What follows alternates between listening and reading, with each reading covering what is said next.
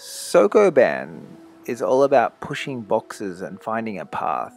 This game has got a really interesting twist on that. Here is a small indie Indiequiry review of Midnight is Lost.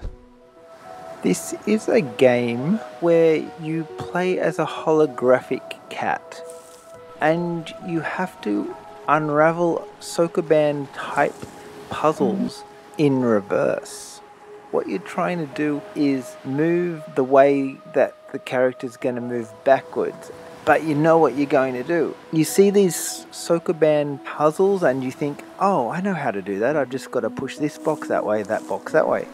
But then try to unravel that in your brain and try and do it in reverse is pretty much not impossible, but adds another depth of complexity to it that makes this game super enjoyable for the puzzle enthusiasts. This beautiful voxel low poly game is almost like a coding exercise in reverse as you plot your way to try and make your cat move in the direction it needs to go. It takes a little bit of getting used to, but I definitely think it's worth the challenge. It's a whole lot of fun and very addictive to play.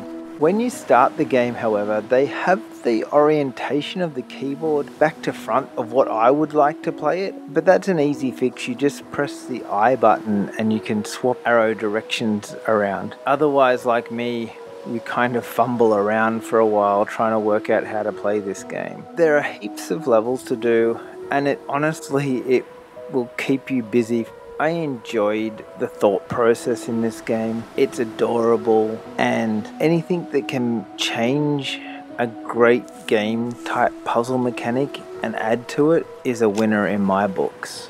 Thanks for watching Indiequiry. Subscribe and check out some of our other videos.